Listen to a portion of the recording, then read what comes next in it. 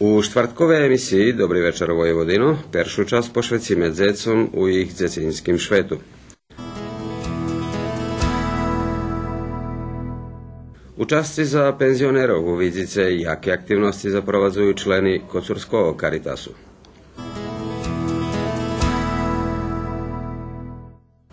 Prešloho týždňa ste videli, jak bolo na perší deň vodova festu v Ruským keresture.